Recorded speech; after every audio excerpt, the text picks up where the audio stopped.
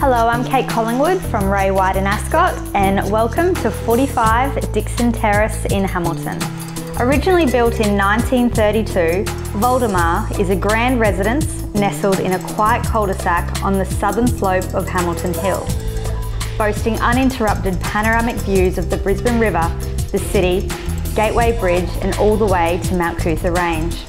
From the moment you enter the front gates, you are inundated with old world elegance. The property encompasses all the hallmarks of Mediterranean architecture, including generous open plan proportions, sprawling ceilings, and polished hardwood flooring. Featuring four bedrooms in total, the master suite expands to a stunning bay window with breathtaking views of the river.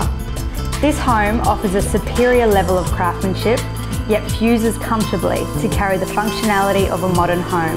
This is truly a must-see for any buyer looking to purchase an iconic family home in one of Brisbane's most coveted addresses. I look forward to seeing you at the open home.